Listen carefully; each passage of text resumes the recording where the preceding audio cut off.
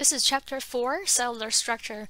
In this chapter, we are going to take a little tour inside the cell and then learn about all the cellular structures and organelles and how they work collectively to perform different cellular functions. Okay. Now,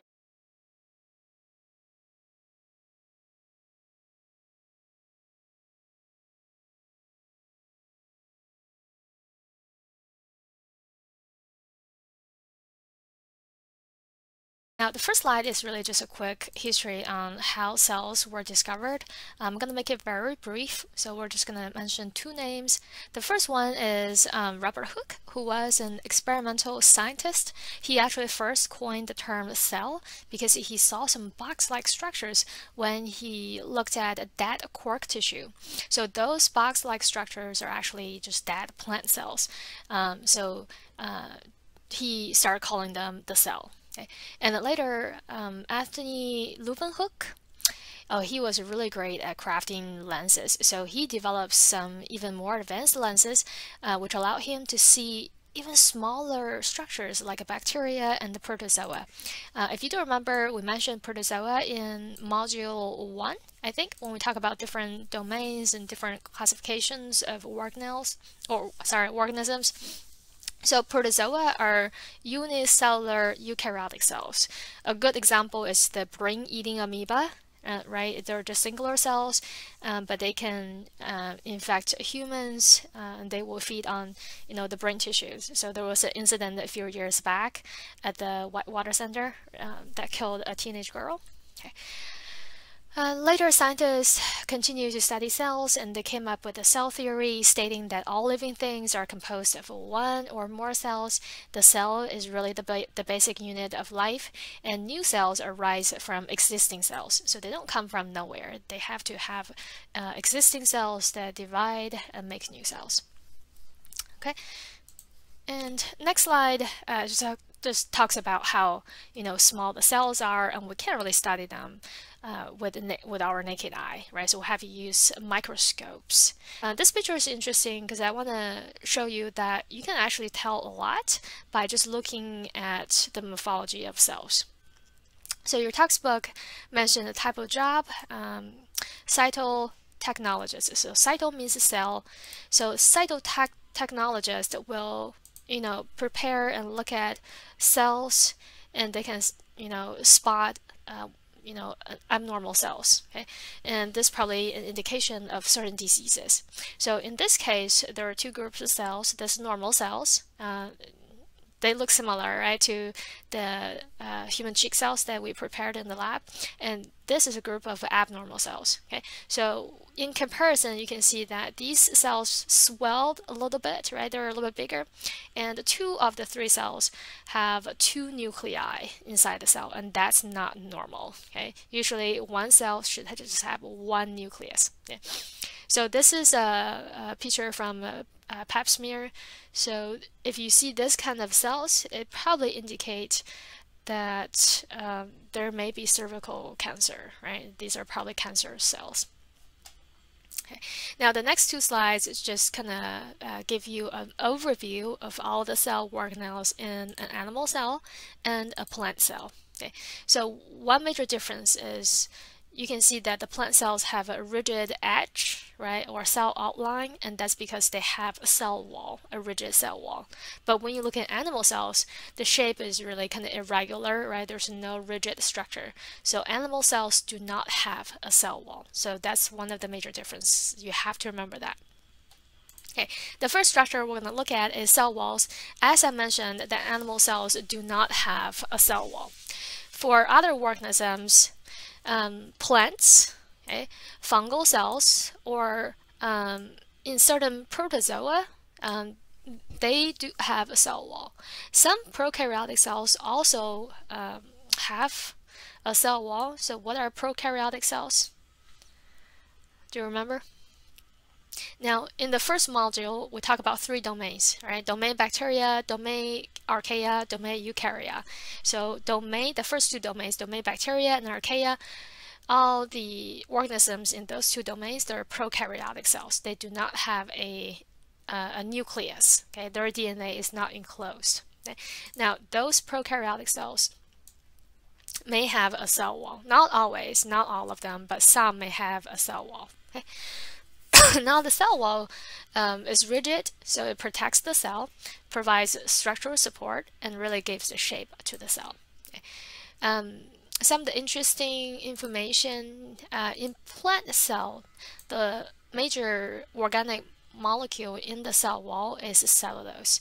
Uh, hopefully you still remember that cellulose is a type of carbohydrate, right? And specifically, it's polysaccharide. Polysaccharide. It's made up of many, many glucose molecules all linked together. So it's a polymer. So um, this is the major component in plant cell wall. Now in prokaryotic cell walls, the chief component is peptidoglycan. Peptidoglycan. Now when you see this pept, that probably tells you that this is something about proteins, right? And the glycan something about sugar. So this is actually um, a very complex component that's made of proteins and sugar. Uh, interestingly, this is the target for uh, some of the antibiotics that we use. So those antibiotics can destroy the production of peptidoglycan and destroy the cell walls. So if the cell walls are destroyed, you know, there's no protection, so the bacterial cells uh, can die from it. So this is how some of the antibiotics work.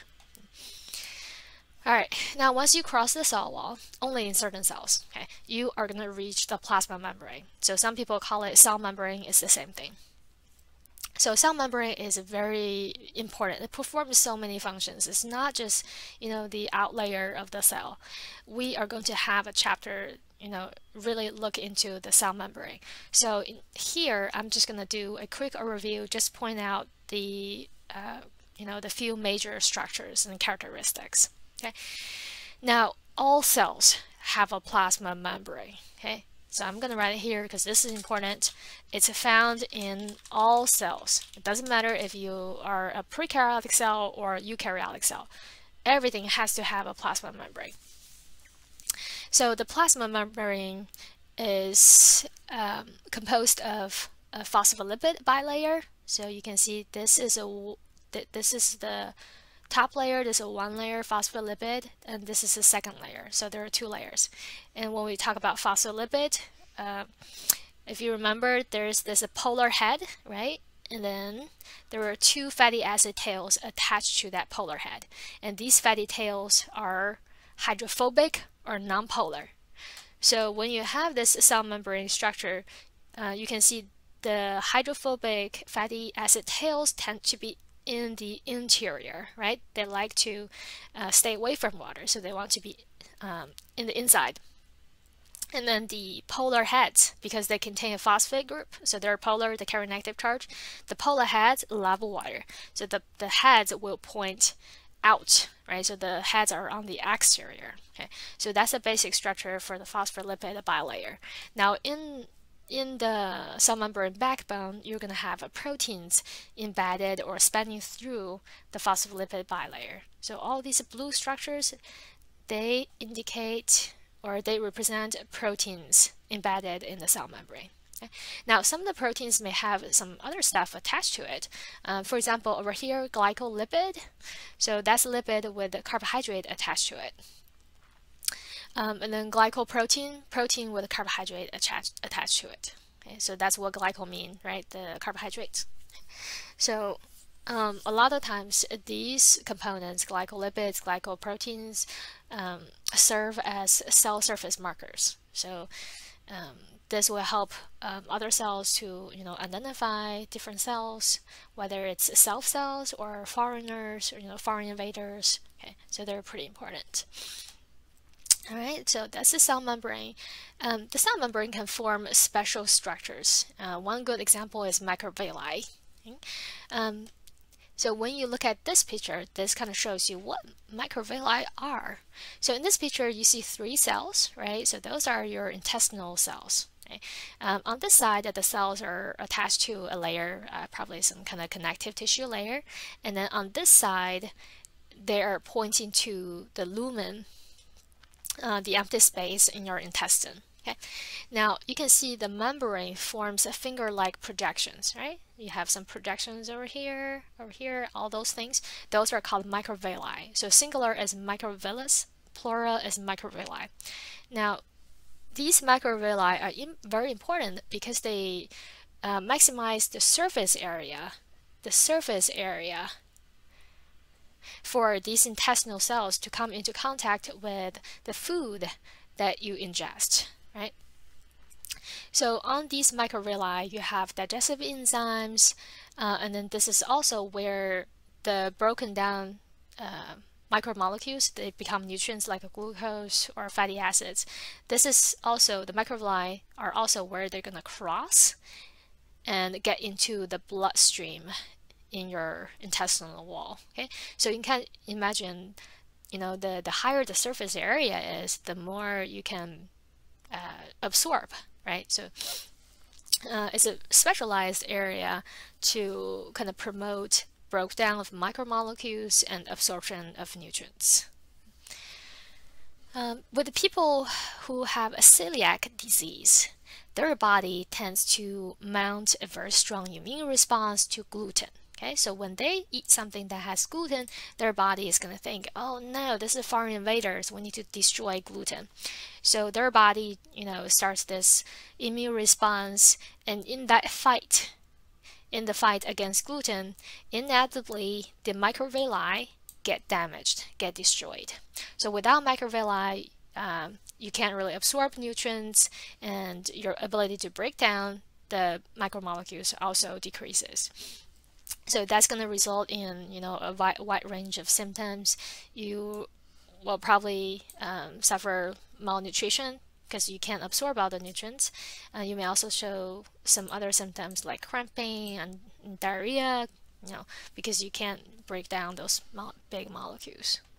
The extracellular matrix, um, just remember that outside the cell, you actually have a lot of things. And all those things collectively we'll call the extracellular matrix, extra outside the cell. Okay? So the extracellular matrix is kind of sticky. Uh, it's not watery. It's not that watery. It's kind of, you know, kind of gel-like structure, very sticky. So the extracellular matrix um, can hold the cells together to form tissues and also allows to allows the cells to kind of communicate between you know one another. So uh, it's pretty important. And we'll mention this a little bit more when we talk about cell communication. Okay. Now let's say we cross the cell membrane and we are now entering cytoplasm. So the cytoplasm is a very big area. It's everything. It contains everything between the plasma membrane and the nucleus. Okay? Your textbook may say nuclear membrane or nuclear envelope. It's the same thing. It's just the membrane that kind of defines the nucleus. Okay. All right. Um, in prokaryotes, which you know those cells don't have a nucleus, so the cytoplasm is really everything inside the cell. Okay.